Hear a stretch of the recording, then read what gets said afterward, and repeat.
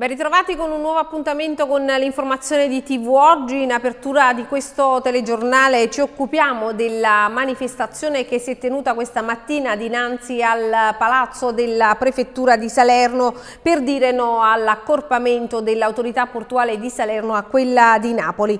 In piazza politici bipartisan, imprenditori e lavoratori. Sentiamo.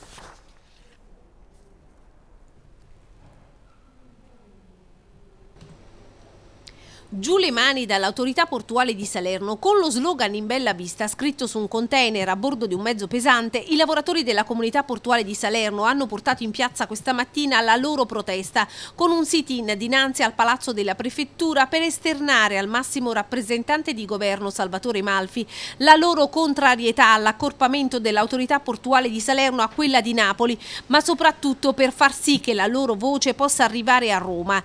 I lavoratori del porto commerciale di Salerno Salerno, i sindacati ed Asso Tutela, l'associazione degli operatori della comunità portuale, questa mattina hanno ricevuto il sostegno anche di imprenditori dell'amministrazione comunale di Salerno. In piazza Mendola per contestare la riforma voluta ed approvata dal governo Renzi c'era anche il sindaco di Salerno Vincenzo Napoli, l'assessore comunale Mimmo De Maio ed alcuni consiglieri comunali.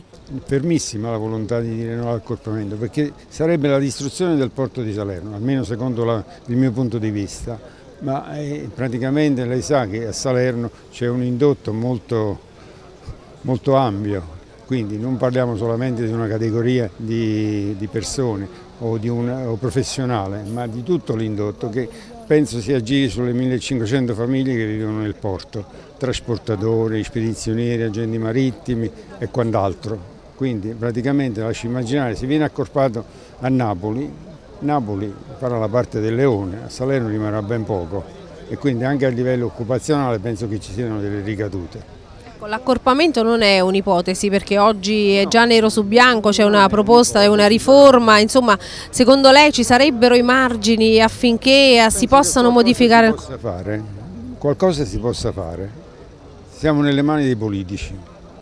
Nel decreto legislativo istitutivo dell'autorità di sistema portuale della Campania che prevede l'accorpamento delle autorità portuali di Napoli e Salerno e l'inglobamento anche del porto di Castellammare di Stabia, Salerno sarà presente con il solo rappresentante espresso dal Comune perdendo la titolarità nelle scelte strategiche dello scalo. La verità, hanno rimarcato i lavoratori portuali, è che al massimo Napoli possa essere accorpata a Salerno. L'infrastruttura partenopea non gode di ottima salute mentre il porto di Salerno Salerno rappresenta una delle poche grandi aziende della città di grande efficacia e redditività, avendo conquistato negli ultimi anni importanti scenari sia a livello nazionale che internazionale. Fatto sbagliatissimo perché il porto di Napoli praticamente eh, già sono anni che eh, con eh, anche la l'autorità portuale eh, è una serie, un, un, periodo di crisi, infatti è commissariata da anni e non riescono a dare una presidenza.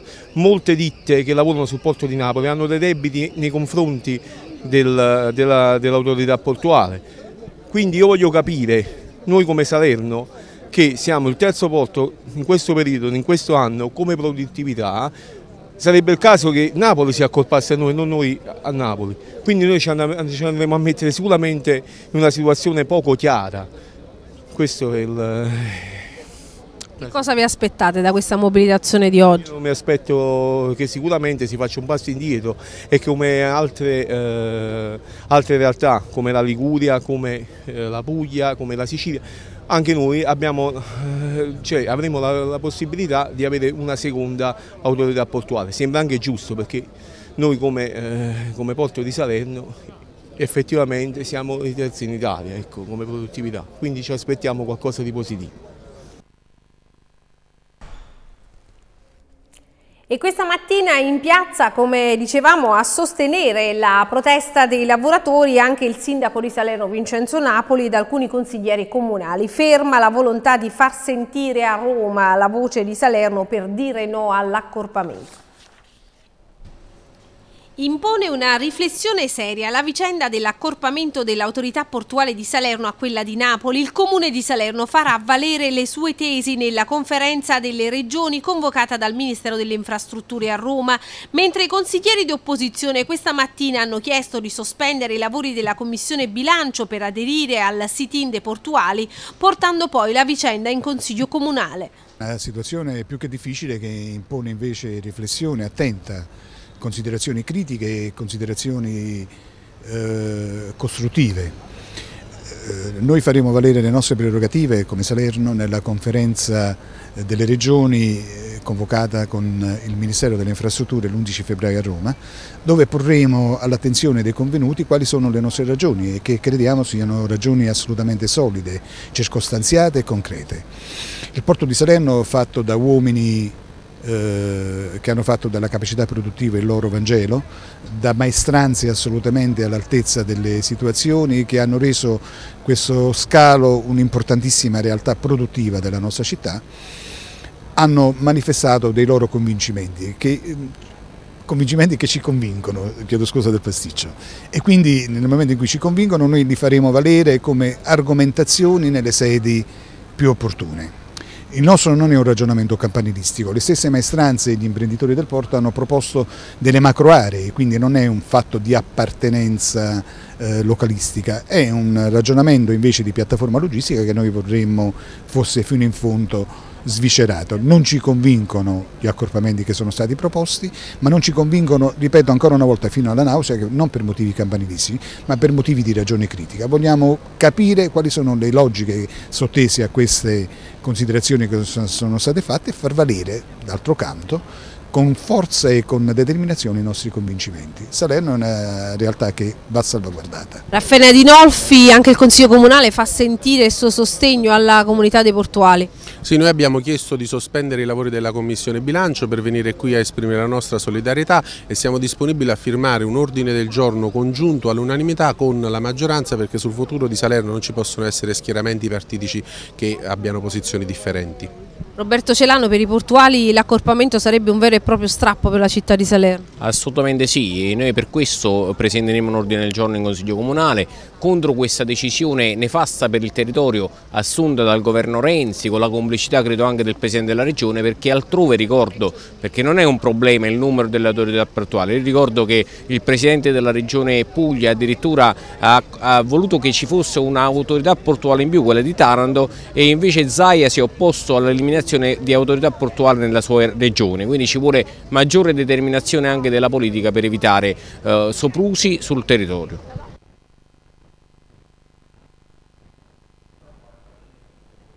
Il prefetto di Salerno Salvatore Malfi intanto si è assunto l'impegno di sollecitare il collega di Catania affinché a sua volta spinga il commissario della Tecnis ad autorizzare l'autorità portuale di Salerno al pagamento degli stati d'avanzamento del cantiere di Porta Ovest dove da due mesi i lavoratori non percepiscono lo stipendio. I soldi sono in cassa ma sono bloccati. Sentiamo. È una questione tecnica e burocratica bloccare due mensilità ai lavoratori del cantiere Porta Ovest a Salerno.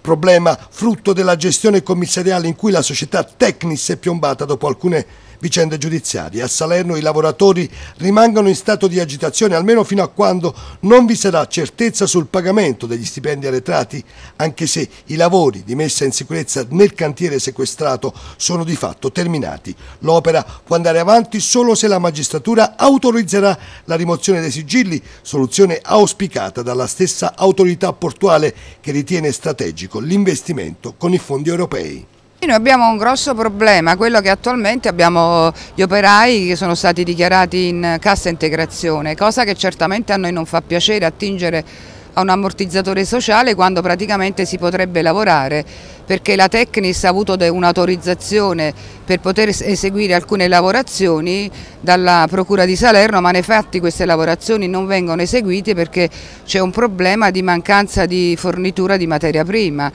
Eh, questo perché? Perché ci sono dei fondi, dei soldi che sono bloccati in base a, a una normativa che, la, che, lo prevede dall'autorità portuale che non possono essere liberati né a favore dei lavoratori né a favore di chi ha fornito praticamente materia prima, dei subappaltatori perché si sta aspettando un parere da parte dell'ANAC e del commissario nominato dal Tribunale di Catania questo parere che tarda a venire. Su questa cosa abbiamo chiesto un intervento molto forte del prefetto di Salerno che speriamo sia incisivo perché credo che oramai sia l'ultima speranza che noi abbiamo perché i lavoratori devono avere due mensilità che sta creando non poche difficoltà economiche a questi lavoratori purtroppo. Ecco, ieri i lavoratori hanno incrociato le braccia, chiedono che l'autorità portuale possa sostituirsi alla Tecnis, un passaggio fattibile. Beh, ma diciamo che l'autorità portuale ha tutta l'intenzione di sostituirsi così come prevede la normativa, ma nei fatti ha le mani legate perché sta aspettando questa autorizzazione.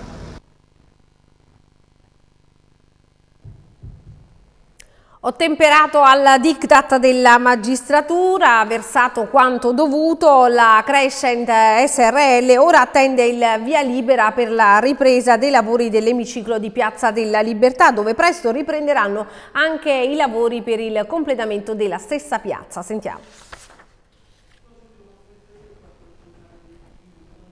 Potrebbe essere riaperto a breve il cantiere del Crescent in quanto attraverso il suo amministratore la società titolare dell'appalto ha ottemperato a quanto stabilito dalla magistratura, ovvero effettuato un primo bonifico da 1.200.000 euro, stipulato una polizza assicurativa e garantita una fideiussione da 4.800.000 euro effettuata presso la Elite Insurance Company per coprire il resto dei costi per le opere di urbanizzazione. Ora il Comune di Salerno è nelle condizioni per dare dare il via libera. Il venerdì scorso è stato rilasciato il permesso a costruire sulla scorta appunto dei versamenti degli oneri di urbanizzazione, di una prima rata e poi della relativa polizza fiduciaria per la restante parte.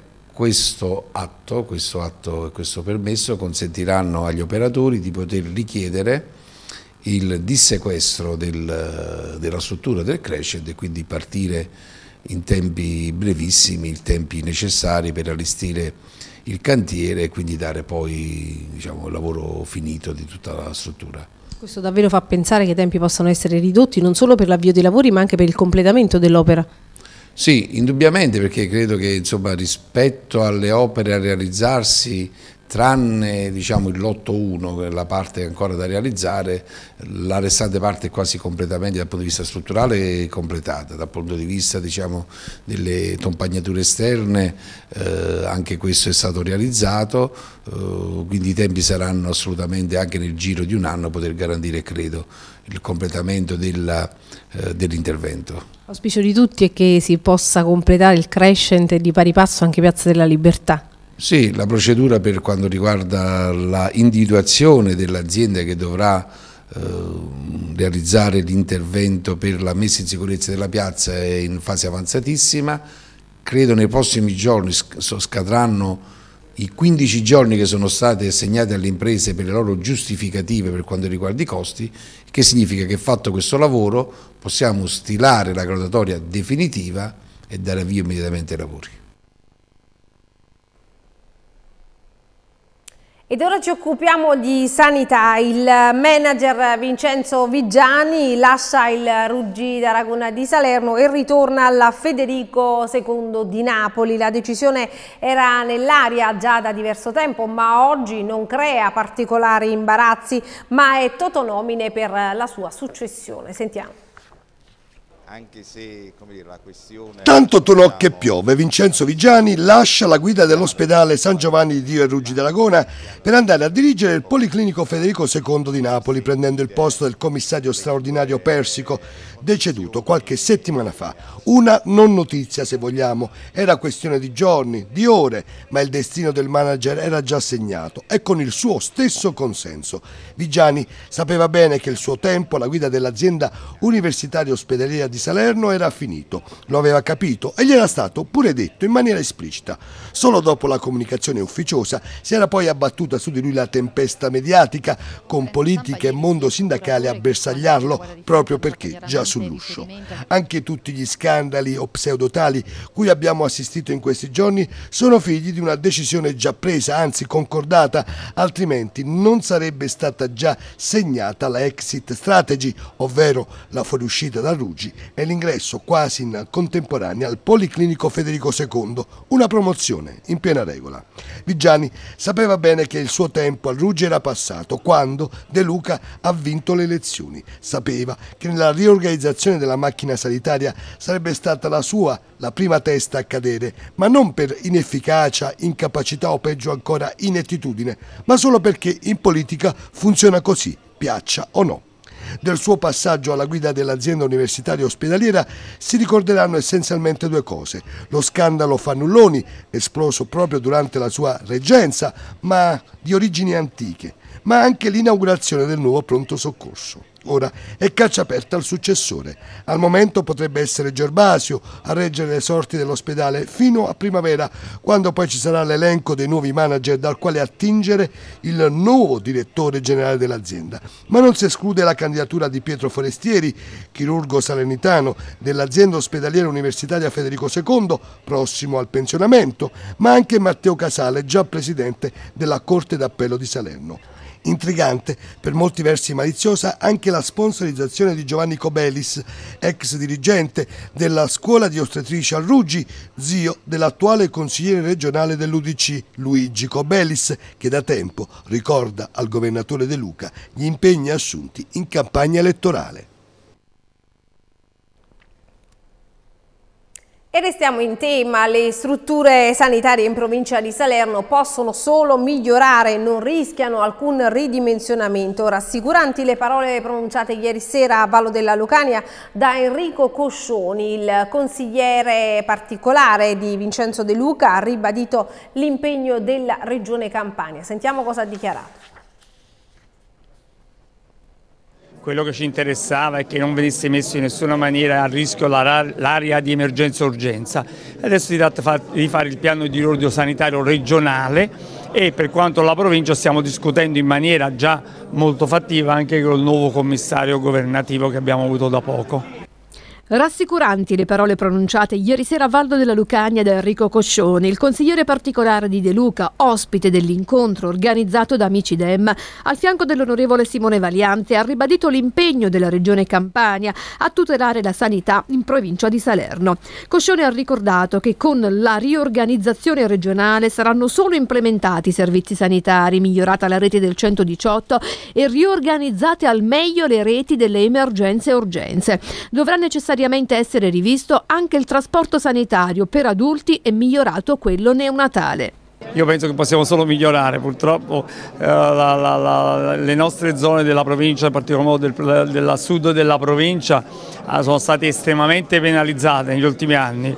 Io credo che dobbiamo soltanto implementare i servizi, migliorare la rete del 118, riorganizzare meglio le reti emergenza-urgenza, il trasporto, sia quello degli adulti che quello neonatale. Lei sa che cosa scandalosa è questa di avere solo due ambulanze neonatali nella, che sono tutte e due a Napoli città, dobbiamo organizzare al meglio anche tutta la rete dei trasporti neonatali.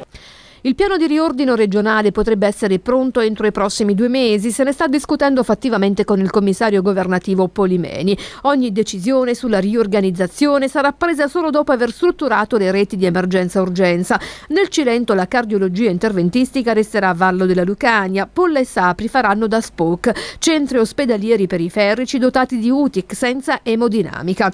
Coscioni che nei giorni scorsi ha ricevuto la proposta sulla sanità elaborata dai sindaci del Cilento e di Milano ha rassicurato anche sui punti nascita. Quello di Savi fino adesso ha, uh, ha avuto una deroga, adesso bisogna vedere nell'ambito della nostra contrattazione decentrata rispetto anche a quello che è l'intendimento nostro che sarebbe quello di salvarlo, come farlo rientrare di nuovo in quell'area di deroga perché lei sa che per parametri nazionali i punti nascita sotto i mille uh, nascituri annui andrebbero chiusi confidiamo di fare qualcosa di positivo. I tempi per questa riorganizzazione? Ma io penso più brevi possibili, diciamo che in un paio di mesi dovremmo avere il riordino sanitario regionale. La cronaca, una giovane donna morta almeno da una settimana è stata scoperta nella serata di ieri a Marigliano Vetere nel Cilento. Il corpo senza vita della 37enne originaria di Bellizzi è stata ritrovata in una casa dove la donna si era trasferita da due anni. A far scattare l'allarme il compagno sagrestano della chiesa di Magliano che ha chiamato l'agenzia di pompe funebri dicendo di averla trovata senza vita in casa. Sul posto anche i carabinieri carabinieri. La salma è stata trasportata presso l'ospedale San Luca di Vallo della Lucania a disposizione dell'autorità giudiziaria che ne ha disposto l'autopsia. Uranio impoverito dalla provincia di Salerno che ha contato tre servitori dello Stato morti negli ultimi mesi, arriva un'altra triste storia, è quella del brigadiere Francesco De Angelis, militare dell'Arma dei Carabinieri, costretto a lasciare il servizio dopo essere stato colpito da un tumore. Il comitato di verifica ha bocciato la domanda di risarcimento per causa di servizio che aveva presentato nel febbraio del 2011. De Angelis è convinto che il tumore maligno maligno contro il quale lotta da sei anni derivi dall'esposizione all'uranio impoverito contratto durante la sua missione in Bosnia. Sentiamo. La malattia mi ha colpito sia al polmone dove ho avuto un'operazione che mi è stato tolto il polmone destro e in più eh, poi c'è stato nel 2010 sono stato operato eh, e tolto il polmone destro, medio inferiore del polmone destro e nel 2015, cioè, no, nel marzo 2014, eh, marzo 2014 c'è stata la ricomparsa della malattia al cervello, dove sono dovuto ricorrere a ulteriori controlli e tutto il resto e sono, dovuto, non sono stato operato al cervello ma ho avuto una radioterapia specifica al cervello che si chiama stereotassi dove sono state incapsulate queste ghiandole e portate a recrizione. Io sono andato via dall'arma dei carabinieri con molto rammarico e non me ne sto mai. Francesco. Mi viene da piangere perché i lampi capì. Non le si lasciato né oggi né di va, è stata una 12 anni. Che cosa chiedi allo Stato? Cosa hai chiesto che non ti ha dato?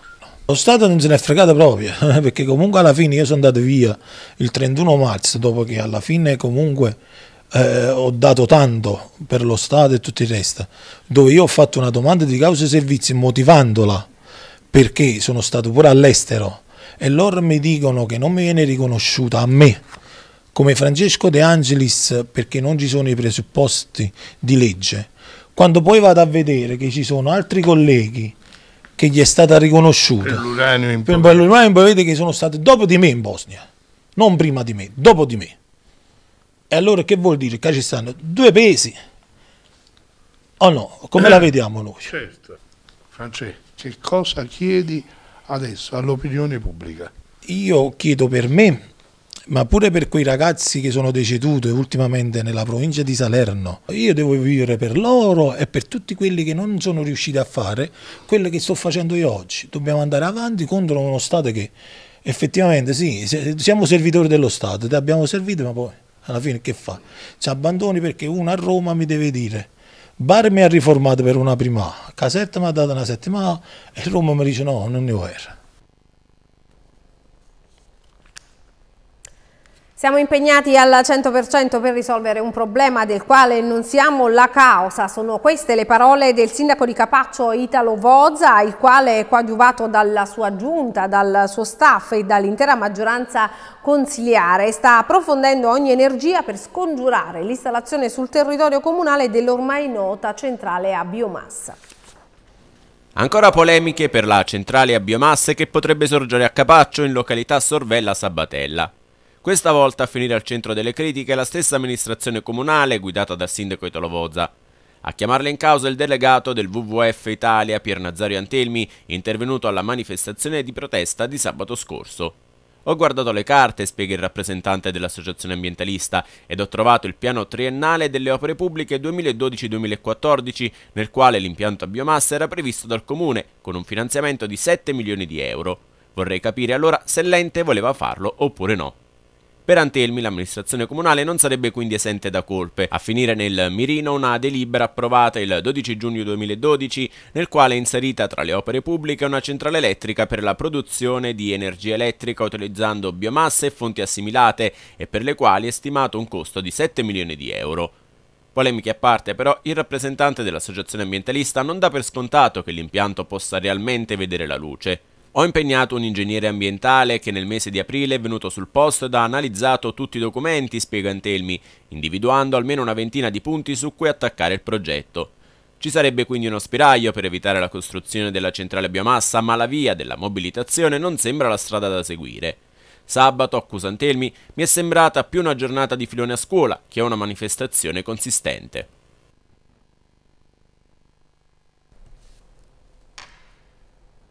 Ed ancora cronaca, i carabinieri di Vallo della Lucania e di Pollica, coordinati dalla Procura della Repubblica del Tribunale di Vallo, hanno apposto i sigilli ad una struttura turistica che stava per essere ultimata nel Parco Nazionale del Cilento, ma secondo gli inquirenti presenterebbe delle irregolarità. Si tratta di un residence turistico che sarebbe sorto a Pioppi e capace di ospitare 25 mini appartamenti. Sequestrata l'area, oggi sono nove gli indagati. Continueremo a sfogliare insieme il nostro telegiornale, ma ora è il momento di dare spazio alla regia per la pubblicità. A tra poco.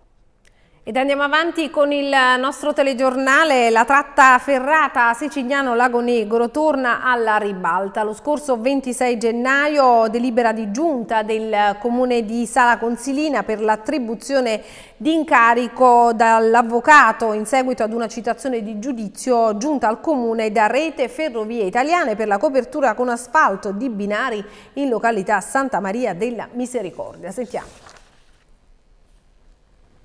Una delibera di giunta dello scorso 26 gennaio ha riportato l'attenzione del Codacons Vallo di Diano sulla tratta ferrata ed in particolare sul tratto che collega Atena Lucane e Sala Consiline, precisamente in località Santa Maria della Misericordia, oggetto più volte da parte del settore trasporti del Codacons di interventi. Il responsabile Roberto De Luca ha più volte segnalato e portato all'attenzione la vicenda che ha visto una parte del tratto coperto dall'asfalto, ricordando che il tratto della ferrovia ed in particolare i binari sono di proprietà di Rete Ferrovie Italiane, il Comune è stato citato in giudizio per oggi dalla società al fine di chiarire e anche per richiedere il ripristino dei luoghi essendo scaduti i termini di autorizzazione concessi. La vicenda era già stata riportata recentemente alla ribalta in considerazione anche della notizia della manifestazione di interesse da parte del Comune di Sala Consilina all'iniziativa di realizzare presso le stazioni ferroviarie abbandonate un ospedale diffuso. Da questo progetto il responsabile Codacons Roberto De Luca, sottolineando la volontà di proseguire sempre nella battaglia per ripristinare il servizio ferroviario nel Vallo di Diano, aveva anche avuto modo di ritornare sulla vicenda dei binari coperti dall'asfalto. Successiva al 20 gennaio, data della delibera per la manifestazione di interesse per l'ospedale diffuso e precisamente il 26 gennaio, arriva un'altra delibera per il conferimento in carico di un avvocato per costituirsi in giudizio presso il Tribunale di Lago Negro nel giudizio promosso da Rete Ferrovie Italiane e notificato all'ente lo scorso 14 ottobre 2015.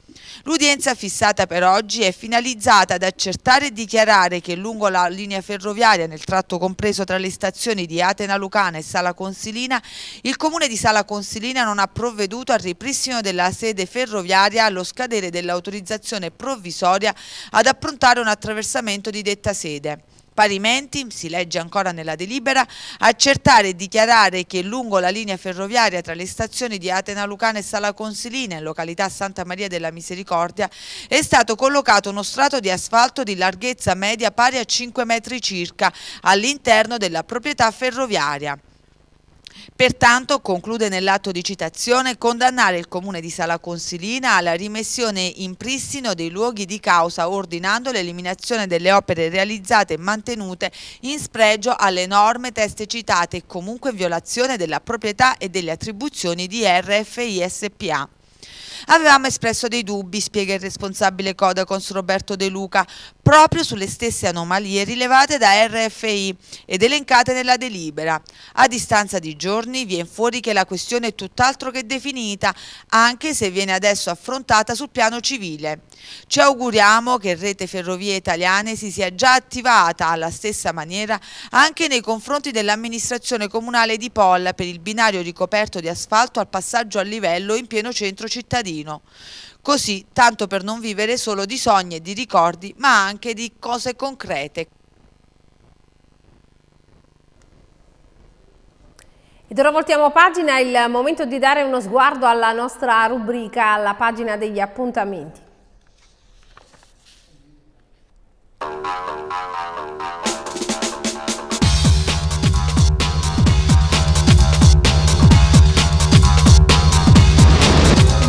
Ora ti darò un bacetto, ma non farti illusioni. A Carnevale arriva la fantasia al centro commerciale Le Bolle all'uscita autostradale di Eboli, martedì 9 febbraio sfilata delle burle dalle ore 16 sfilata di maschere in galleria animata dal cappellaio Matto. Tris di domeniche di divertimento, poi a partire da domenica 14 febbraio il mio amore in un clic nel giorno di San Valentino tutti gli innamorati possono farsi fotografare in galleria. Centro commerciale Le Bolle, uscita autostradale Eboli.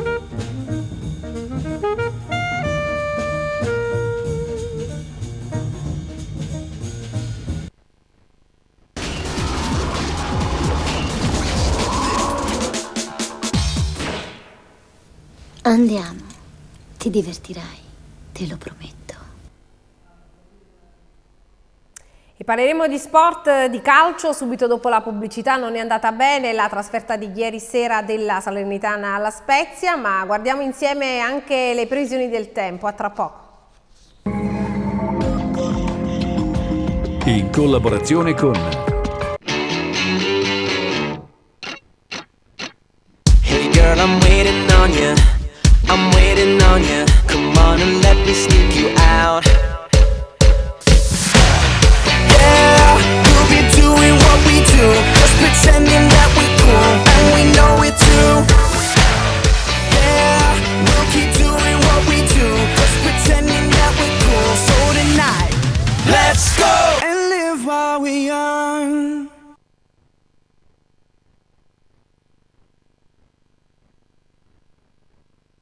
Nel pomeriggio, sulle coste, parzialmente nuvoloso con schiarite prevalenti. In montagna, bel tempo con cieli sereni.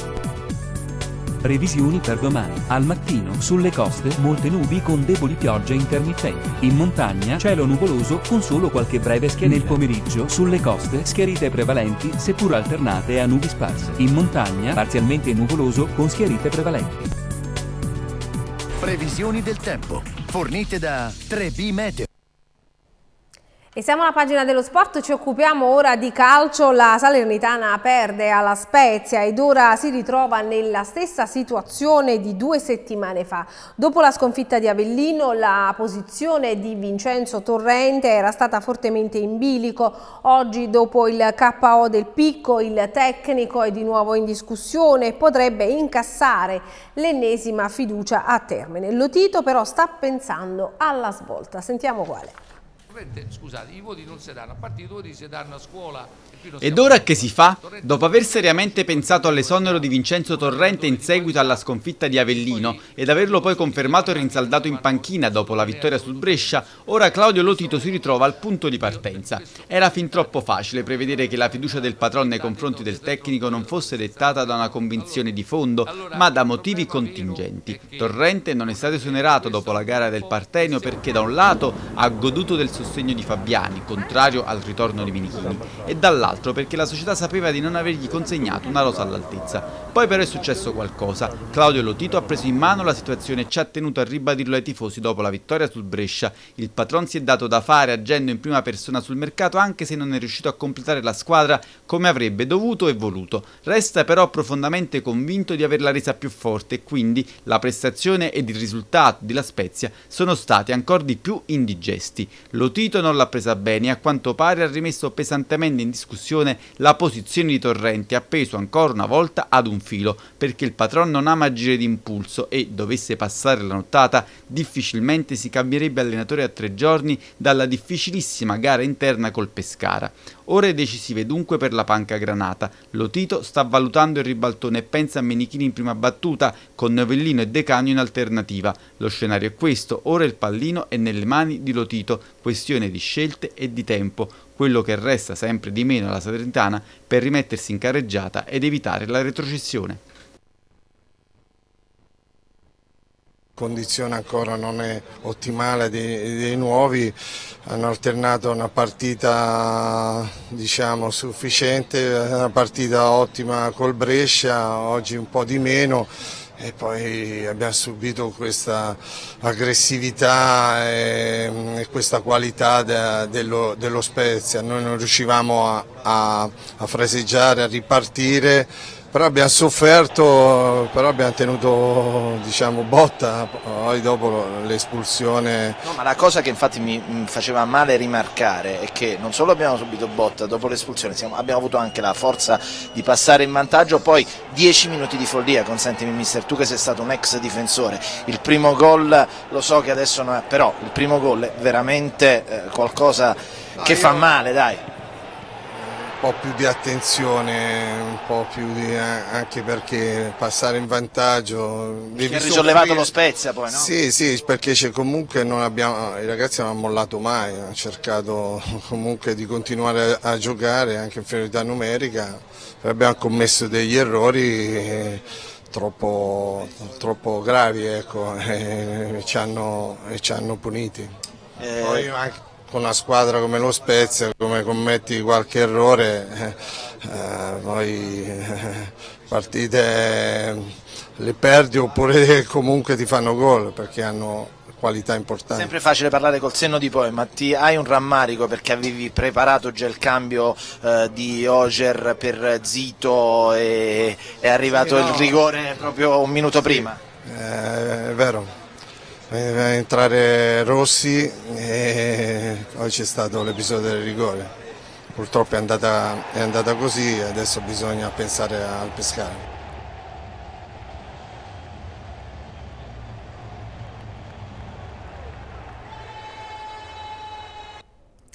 E ieri dunque alla Spezia la Salernitana ha incassato la quarta sconfitta di fila in trasferta. Non è bastato ai Granata il vantaggio di coda per limitare i, donni, i danni prodotti dall'ingenua espulsione di Gabbionetta. Doveva essere la partita della svolta, la partita che accertasse il cambio di rotta ed invece la Salernitana ha perso, giocando male e commettendo errori imperdonabili. La Cabala non era certo amica dei Granata ed infatti il picco si è confermato terreno minato, ma al di là di tutto la squadra di Torrente è venuta meno sotto l'aspetto caratteriale e tattico, incappando nella quarta sconfitta esterna consecutiva. Approccio molle alla gara, squadra subito lunga e troppo passiva in balia dell'avversario che nel primo tempo ha dominato ed avrebbe meritato il gol del vantaggio che solo le prodezze di Terracciano hanno evitato. Il centrocampo Granata ha mostrato limiti in fase di interdizione, colpa anche delle distanze troppo lunghe tra i reparti e di un apporto limitato in fase di non possesso degli attaccanti, in particolare di Gabbionetta. Proprio il brasiliano è stato protagonista in negativo con l'espulsione che ha compromesso una partita già di per sé difficile e complicata. La sua ingenuità in occasione del secondo giallo è stata pagata a caro prezzo dalla Serenana che, pur essendosi ritrovata a sorpresa in vantaggio grazie al perentorio stacco aereo di coda su corner di Ronaldo, non è riuscita ad arginare il prepotente ritorno dello Spezia. Il 4-4-1 adottato da Torrente con l'innesto di Ogger per Moro non è servito a contenere la pressione dei Liguri, straripanti sulle corsie laterali e non a caso il pari è giunto proprio dalle fasce. Su un pallone calciato dalla destra della linea difensiva Granata, Franco si è fatto sorprendere alle spalle da un avversario che ha offerto un comodo assist a Vignali, ragazzino del vivaio all'esordio da titolare che ha trafitto Terracciano. Il primo gol subito dall'ex Catania con Bernardini in campo è stato il segnale di resa da parte della Salernitana sovrastata sul piano fisico ed incapace di correggere ulteriormente in corsa l'assetto. Ancora da un cross dalla fascia destra è giunto il rigore del sorpasso spezzino. Zito, in evidente debito di ossigeno e prossimo alla sostituzione, ha spinto palesemente quanto ingenuamente Vignali, inducendo l'arbitro a concedere il penalty trasformato con freddezza da Calaiò. Terracciano intuisce ma non ci arriva e lo Spezia vola. Torrente si gioca la carta della disperazione con Donnarumma ma la Serenitana è così lunga e sfilacciata da subire gol su azione d'attacco. La ripartenza ligure avviata da una respinta di pugno di Cicizzola è letale ed esalta le doti di Sciaudone, freschissimo ex del confronto che raccoglie un pallone al limite dell'area e senza pensarci calcia di sinistro battendo l'ex compagno ed amico Terracciano e poco dopo l'ex di turno sfiora la doppietta, forse sarebbe stato troppo, la Salernitana era già stata punita abbastanza per i suoi errori. Purtroppo lo Spezia è la nostra bestia nera, è la terza volta che lo incontriamo quest'anno e ha vinto tutte e tre, soffriamo la loro qualità sia nel primo tempo che nel secondo, quando, quando, si deve dire si deve dire, sono superiori sul piano tecnico quindi su questo non possiamo dire nulla. Quando sei in 10 già stai facendo fatica, poi si complica ancora di più, eravamo stati bravi comunque ad andare in vantaggio 1-0, a quel punto sarebbe andato bene anche il pari purtroppo è stata una sofferenza continua e contro squadre così in perdi, le perdi le partite. Dura, lo sapevamo già, oggi avevamo l'opportunità di metterci in una zona un po' più tranquilla, eh, purtroppo quando giochi contro squadre così è difficile fare punti. Adesso dobbiamo guardare solo in casa e cercare di fare più punti possibili.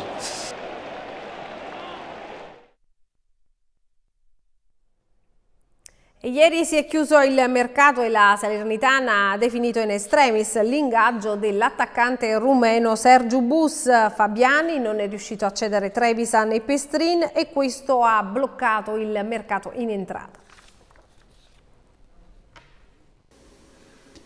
Nove innesti durante la finestra invernale del mercato, ma la sensazione è che il lavoro sia rimasto a metà. La Salernitana chiude la sua campagna di riparazione con l'ingaggio dell'attaccante rumeno Sergio Bus, classe 92, proveniente dallo Sheffield Wednesday, Serie B inglese, dove non ha ripetuto le buone cose fatte vedere in Bulgaria con il CSK a Sofia.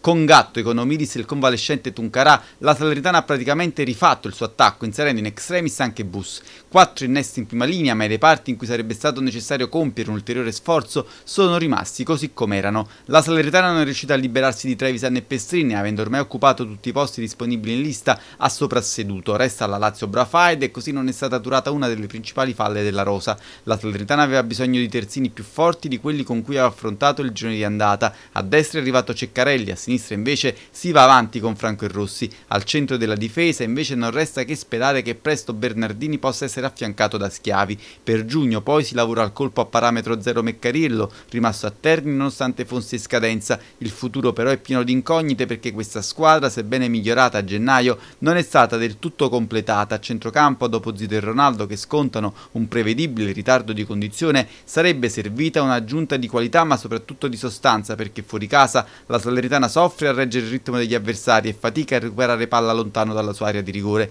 Il mercato si è chiuso ed ora bisogna valorizzare ciò che c'è in casa. Per la salvezza si spera che possa bastare, ma è chiaro che la società avrebbe potuto fare un ultimo sforzo per riparare gli errori estivi ed allestire una rosa in grado di centrare l'obiettivo con meno affanno. E continueremo a parlare di sport, ma ora è il momento di dare spazio alla regia per la pubblicità, tra poco. E ci occupiamo ancora di calcio, la Paganese ha battuto due colpi a fil di sirena, ceduto Gurma, passato alla Lupa Castelli Romani, il DG Preti ha ingaggiato Pasquale De Vita. 22 anni, l'attaccante napoletano arriva dal Trapani di Cosmi, ceduto al Martina Berardino a centrocampo è giunto Corticchia dal Savona. Con quest'ultima notizia dedicata al calcio si chiude qui questa edizione del nostro telegiornale, al momento non ci sono altri aggiornamenti, in ogni caso vi rimando all'appuntamento della sera delle 19.30. Buon proseguimento di giornata, arrivederci.